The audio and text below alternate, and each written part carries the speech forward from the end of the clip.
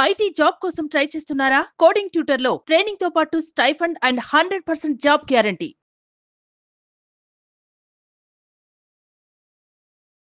నమస్కారం డాక్టర్ శ్రీ ఆచార్య అనంతకృష్ణ స్వామి గారు. నమస్కారం అండి. Thank you so much for the positive vibes రాగానే అట్లా ఒక్కొక్క పాజిటివ్ వైబ్స్ వస్తూ ఉంటాయి. థ్యాంక్స్ అలాట్ పెట్టుకునే వస్తాను. ఎస్ సో చాలామంది అంటే మనం సబ్జెక్ట్ స్టార్ట్ చేసే ముందు క్లాసెస్ ఎక్కువ మంది అడుగుతున్నారు. ఎప్పుడు ఉండే అవకాశం ఉంది? ఎక్కడెక్కడ ఉండే అవకాశం ఉంది? ఎనిమిది సెప్టెంబర్ వచ్చి తిరుపతి పదిహేను సెప్టెంబర్ వచ్చి రాజమండ్రి అండి ఇరవై రెండు సెప్టెంబర్ వచ్చి హైదరాబాద్ ఇరవై తొమ్మిది సెప్టెంబర్ వచ్చి అనంతపురం అండి. సిక్స్త్ అక్టోబర్ వరకు విజయవాడలో అలాగే ఇరవై అక్టోబర్ బెంగళూరు. అక్టోబర్ వరకు మన షెడ్యూల్ ఫిక్స్ అయిపోయి Oh. అంతే ఈగర్గా కూడా వెయిట్ చేస్తున్నటువంటి వాళ్ళు ఉన్నారు. అందరూ. ఈ వీడియోలో ఏం చెప్తున్నారు? అంటే మనం డబ్బు సంపాదించాలి అనే ఒక ఆలోచన వచ్చినప్పుడు మనకి ఏముంటుందంటే ఎలా సంపాదించాలి ఎలా చేయాలి ఇవన్నీ బోలెడు ఆలోచనలు వస్తాయి మనకి. ఇక్కడ విచిత్రం ఏంటంటే మీరు ఎంత ఖర్చు పెడితే అంత డబ్బు వస్తుంది. ఇది మనం ఎన్నోసార్లు చెప్పినాం. అంటే ఒక వ్యక్తి యొక్క సంపదను మనం లెక్కెట్టాలంటే అతను ఖర్చు ఏం పెడుతున్నాడు అనేది చూడాలి. ఓకేనా? ఇప్పుడు ఒక సామాన్యుని తీసుకున్నాం మనం. అతను ఏం చేస్తాడంటే సింపుల్గా ఎవ్రీ మంత్ అతనికి ఎంత ఇంట్లో గ్రాసరీస్ కావాలో అవన్నీ అవి మాత్రం తీసుకొస్తాడు. ఒక రెంట్ కట్టుకుంటాడు. డైలీ ఆఫీస్కి వెళ్తూ వస్తుంటాడు. లేదా మధ్యలో ఒక టీ తాగుతాడు. అవసరమైతే ఎప్పుడైనా టిఫిన్ చేస్తాడు. నెలకు ఒక్కసారి తినాలనిపిస్తే బిర్యానీ తింటాడు. అంతకన్నా కొత్తగా ఏం చేసేదే ఉండదు. దాన్ని బట్టి మనకి ఏమనిపిస్తుంది ఆ మనిషిని చూస్తేనే వీడు మధ్యతరగతి పడరా? వీడు ఇంతకంటే ఎక్కువ ఏం చేయలేడా? అదే ఒక వ్యక్తి కారులో వెళ్తున్నాడు. బ్రహ్మాండంగా ఒక డ్రైవర్ ఉన్నాడు. వెనకాల ఒక నలుగురు పరివారం ఉంది. ఆ లగ్జరీస్గా వెళ్తున్నాడు ఎటు వెళ్తున్నాడో తెలీదు. మళ్ళీ సాయంత్రానికి రెండు రోజులకు మాత్రం కనిపించాడు వాడు. ఎందుకంటే వాడికి ఫుల్ బిజినెస్ మ్యాగ్నెట్ కదా వాడు. కాబట్టి ఎటు తిరుగుతాడో అని తెలియదు కానీ ఇంటికి వస్తాడు మళ్ళీ మూడు నాలుగు రోజులకే కనుక కనిపిస్తాడు. అది కూడా బయట కనిపించాడు. జస్ట్ ఆ కారు దిగినప్పుడు కనిపిస్తాడు. ఇప్పుడు ఆ వ్యక్తిని చూసినప్పుడు మనకి ఏమనిపిస్తుంది? వీడు ధనవంతుడు కోటేశ్వరుడు అనిపిస్తుంది లేదు? అంటే ఆ ఖర్చును బట్టి వాడి యొక్క సంపాదన మనం గెస్ చేయొచ్చు. అర్థమైందా? కాబట్టి ఇప్పుడు మనకు సంపాదన కావాలన్నప్పుడు మనం ఏం చేయాలి? ఖర్చును పెంచుకోవాలి.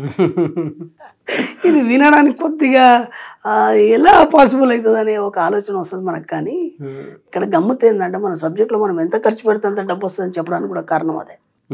అంటే ఒక ఖర్చు మనిషి యొక్క ఇన్కమ్ని నిర్ణయిస్తుంది. ఇది సూత్రం ఇది. అర్థం ఈ సూత్రం ఈ సూత్రాన్ని పట్టుకొని మనం ఏం చేయాలంటే మెల్లిగా మెల్లిగా మెల్లిగా మన ఖర్చును పెంచుకోవాలి. ఓకే. ఇప్పుడు ఏం చేయాలి? మనం ప్రతి నెల ఎప్పుడైతే ఏవైతే గ్రాసరీస్ అవి కొంటున్నామో కాకుండా అదనంగా కొత్త వాటిని కొనే ప్రయత్నం చేయాలి. ఓకేనా? ఆ తర్వాత ఏం చేయాలి? ప్రతి నెల ఒక కొత్త వస్తువును మనం స్వీకరించేటట్టు అంటే ఏదైనా ఒక కొత్త వస్తువు మన ఇంట్లోకి రావాలి.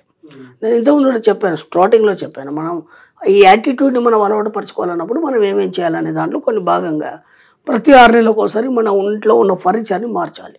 అంటే ఉన్న ప్లేస్ నుంచి అయినా మార్చాలి అంటే ఒక కొత్త వస్తువుని తీసుకొచ్చి పెట్టాలి. అంటే కర్టెన్స్ మార్చుకోవాలి. ఓకేనా? దానివల్ల ఏమవుతుందంటే ఆ కొత్తదనాన్ని మన సబ్కాన్షియస్ మైండ్ గ్రహించి ఇంకా కొత్త కొత్తనైనటువంటి సృజనాత్మక ఆలోచనలు నీకు ఇవ్వడం జరుగుతుంది. అర్థమైందా? లేకపోతే ఒకే రకంగా మనం ఎప్పుడు అదే టేబుల్ అదే ఇల్లు అదే కట్టెను ఇంకా కలర్ కూడా మారకపోతే మన కళ్ళు దాన్నే పట్టుకొని చూసి కొత్తదనాన్ని ఎప్పుడు కూడా కోరుకో ఇప్పుడు ఏమైంది? అప్పుడు ఒక కొత్తదనాన్ని అట్మాస్ఫియర్ని మనం క్రియేట్ చేసుకోవడం వల్ల ఏమవుతుందంటే మన కళ్ళు దాన్ని ఆకర్షించి మన మైండ్కి తెలుపుతాయి. ఎప్పుడైతే మైండ్కి తెలుపుతాయో అది కొత్తదనాన్ని స్వీకరించడం మొదలవుతుంది మెల్లిగా మెల్లిగా మెల్లిగా. అందుకని ప్రతి నెల ఏం చేయాలి? మన ఖర్చును పెంచుకోవాలి.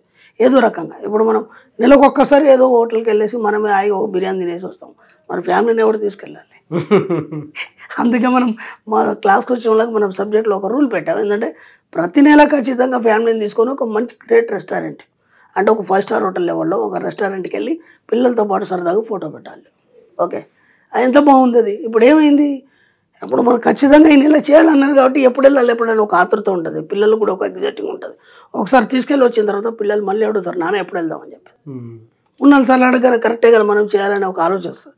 ఇప్పుడు ఏమైంది? ఒక నెలలో రెండు సార్లు కూడా పోవచ్చు. దాంతో ఏమైంది? ఖర్చు పెరిగింది. ఇప్పుడు ఏమైంది? దానికి తగ్గ యాటిట్యూడ్ నీ లోపల అలవాటు దానికి తగ్గ సంపాదన వస్తుంది.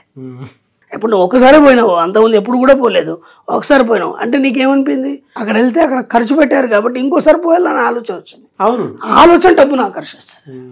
అర్థమవుతుందా? ఆలోచన డబ్బును ఆకర్షిస్తుంది. డిజైర్ డిజైన్ చేసుకోవాలి. నీ ఆలోచనని నా డబ్బును ఆకర్షిస్తుంది. ఇప్పుడు మళ్ళీ ఏం చేశారు? మళ్ళీ నీ ఖర్చును పెంచుకోవాలి. ఒక టూర్ వెళ్తున్నారు. మళ్ళీ మీ ఖర్చును పెంచుకోవాలి. ఒక కార్ని కొంటున్నారు. మళ్ళీ మీ ఖర్చును పెంచుకోవాలి. ఒక ఇల్లు లగ్జరీస్ ఇల్లు కొంటున్నారు.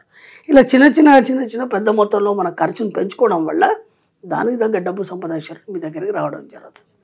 కాబట్టి చక్కగా ప్లాన్ అయ్యండి ఫస్ట్ ఏం చేస్తారంటే ముందుగా మీ ఇంట్లో ఫస్ట్ అట్మాస్ఫియర్ని మార్చండి. ఆ తర్వాత మీ ఖర్చులు పెంచుకోవడానికి పిల్లలు కూడా ఇటు టూర్ కానీ ఎటు ఈజీగా పంపించండి ఎందుకంటే ఎప్పుడు ఒకే మూసపోసిన పద్ధతిలో మనం ఉండడం వల్ల సృజనాత్మక శక్తి అనేది మనకి బయటపడుతుంది ఇంతకుముందు మనం చెప్పుకున్నాము ఒక సబ్జెక్ట్ చెప్పుకున్నాం ఎక్సలెంట్. సంయుక్త ఊహాశక్తి సృజనాత్మక ఊహాశక్తి అని చెప్పుకున్నాము ఈ రెండింటి మీద మనం ఎక్సలెంట్ క్లాస్ చెప్పుకున్నాము సబ్జెక్ట్ చెప్పుకున్నాం.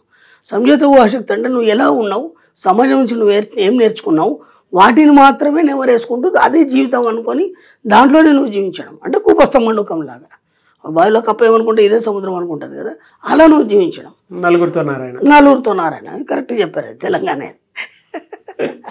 అదే కనుక సృజనాత్మక ఊహాశక్తి అన్నప్పుడు ఏమవుతుందంటే అందరికంటే నువ్వు భిన్నంగా ఆలోచిస్తావు. నాకు చిన్నప్పటి నుంచి కూడా మా ఫ్రెండ్ సర్కిల్లో కానీ లేకపోతే బంధువులు కానీ ఏముందనరా నువ్వు అంత ఎగిసిపడతావు అనేది నాకు. నేను చెప్పాను కదా మనం ఇంటర్వ్యూలో కూడా చెప్పాను. ఆ ఖర్చు అలాగే ఉండదు అంత బాగానే ఉండదు ఎక్కడ కూడా ఏం తగ్గేది లేదు అని. కథలు కథలు ఎక్కువ ఉండే అని చెప్పారు. కథలు ఎక్కువ ఉండే. అందరూ తిట్టేది ఎలా పాసిబుల్ అవుతుంది నీకు? నువ్వు అంత సంపాదిస్తావు కదా నీకు ఎలా పాసిబుల్ అవుతుంది? నేను ఖర్చును పెంచుకునేది. వీలైనంత ఖర్చును పెంచుకునేది. అది నా కోసమే. నేను వెళ్ళాలనుకుంటే రిటర్న్ వెళ్ళాలనుకుంటే ఒక చిన్న బ్యాగ్ వేసుకొని వెళ్ళానే. వెళ్ళాలనుకుంటే సడన్గా వెళ్ళిపోవాలి. నేను ఏం చేసేవానంటే సపోజ్ ఒక టూర్ వెళ్ళాలి. టూర్ వెళ్ళాలనుకున్నప్పుడు మనం ఏం చేస్తాం? అన్నీ సర్దుకొని బ్యాగ్ లగేజ్ అవన్నీ సర్దుకొని ఐరన్ గుడ్డలు ఇచ్చినవి తెచ్చుకొని ఇవన్నీ రెడీ.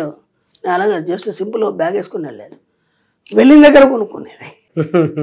వెళ్ళిన దగ్గర కొనుక్కునేది. మళ్ళీ అన్ని కొత్త అన్ని కొనేది. ఇప్పుడు ఏమైపోయింది? నా ఖర్చు పెరిగింది.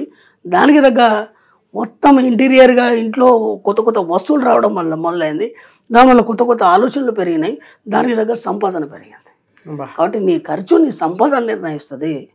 అనేది సూత్రం. దీన్ని ఎవరు కూడా విస్మరించకుండా దీన్ని పట్టుకొని మెల్లిగా మెల్లిగా మెల్లిగా ప్రయత్నం చేయండి అప్పుడు ఏమవుతుందంటే మీ జీవితంలోకి మీకు తెలియకుండానే మీ ఖర్చు పెరిగిపోతూనే ఉంటుంది. దాని దగ్గర సంపాదన రావడం మొదలవుతుంది ప్రతి కుటుంబ సభ్యుడు చూడాల్సినటువంటి చక్కటి వీడియో ఇది. ఎక్సలెంట్. కుటుంబ కథా చిత్రం లాగా అంటే ఈ రోజులో ఎవరండి చెప్తారు? పిల్లల్ని మీ ఫ్యామిలీని అందరినీ కలిపి తీసుకొని ఒక రెస్టారెంట్కి వెళ్ళి ప్రశాంతంగా మన గ్రూప్లో చాలా మంది పిల్లలు ఎంత హ్యాపీగా ఫీల్ అవుతారు. థ్యాంక్ యూ గురూజీ అని చెప్తారు. అక్కడికి వెళ్ళి వీడియోలో పెడతారు. లేదంటే మెసేజ్ పెడతారు. ఆ, మీకు ఇంతకుముందు కూడా చెప్పాను నేను చిన్న చిన్న పిల్లలు డబ్బులు లెక్కెడతారు. ఎన్నిగానో ఉన్నాయి? చిన్న చిన్న పిల్లలు. Just kids.